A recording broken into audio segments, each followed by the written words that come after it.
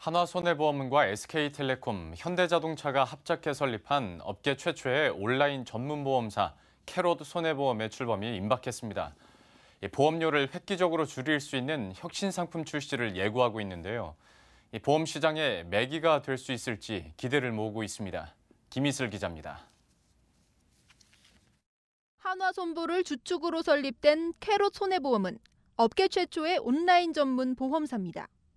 29일 금융당국에 본허가를 신청하고 본격적인 영업을 준비 중입니다. 캐롯손보는 보험사인 한화손보와 이통사 SK텔레콤, 현대자동차의 합종 연횡으로 탄생했습니다.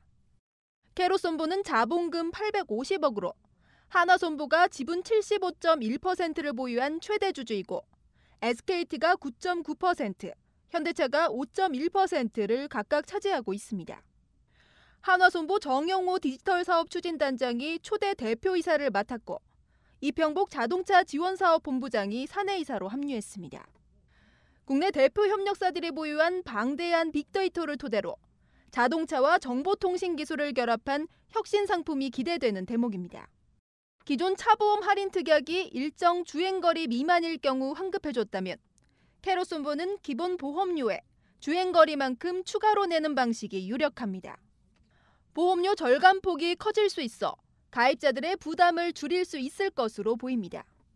SK텔레콤과 함께 휴대폰 보험을 또 11번가와 손잡고 소액보험료로 반송료를 면제하는 반송보험 등장도 기대해 볼 만합니다. 캐로손부는 포화 상태인 보험 시장에서 벗어나 온라인 틈새 시장을 노린다는 포부입니다. 하지만 디지털 시장도 호락호락하지 않습니다. 네이버와 카카오를 비롯해 토스 등 핀테크 업체까지 디지털 보험 시장에 도전장을 내밀었기 때문입니다. 아직은 플랫폼만 제공하지만 자체 보험사를 설립해 보험 상품을 개발할 가능성도 적지 않습니다.